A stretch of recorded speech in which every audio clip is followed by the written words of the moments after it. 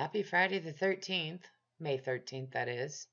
This is a three minute rant. Just, I don't know. I'm so tired of swimming with stupid.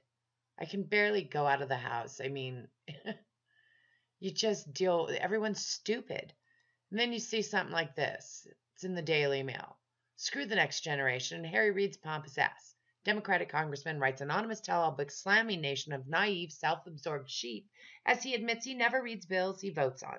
My main job is to keep my job, to get reelected. It takes precedence over everything. An anonymous member of Congress writes in a new book, voters are incredibly ignorant and know little about our form of government and how it works. It's far easier than you think to manipulate a nation of naive, self absorbed sheep who crave instant gratification. The author is a Democrat in Congress who laid out his complaints to a longtime friend and former Capitol Hill staffer, who edited them into a book, The Confessions of Congressman X, will be released May 24th. and it just goes on. This will be linked, whether you'll read it or not, I don't know. But fundraising is so time consuming, I seldom read any bills I vote on. He just votes how he's told to vote. Because we're all freaking stupid. Everyone's so stupid any political videos I ever do, they don't ever get viewed really. I don't make any money doing these videos. I'm just trying to pique your curiosities and leave some messages and some hints along the way because, you know, oh, I'm just swimming with stupid.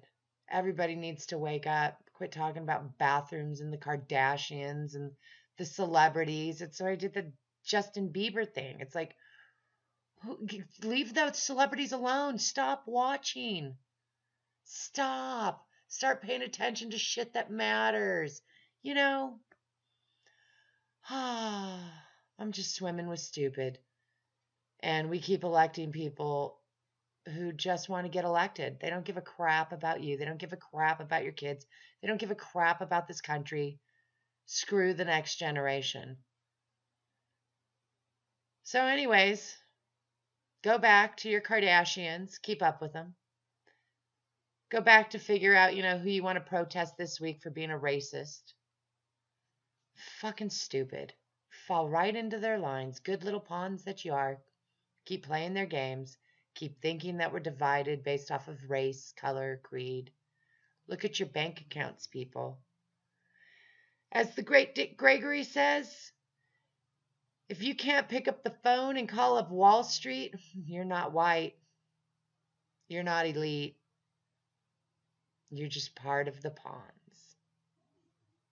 So wake up, people. Because you're just sheeple. And I'm so tired of swimming with stupid. There's my rant.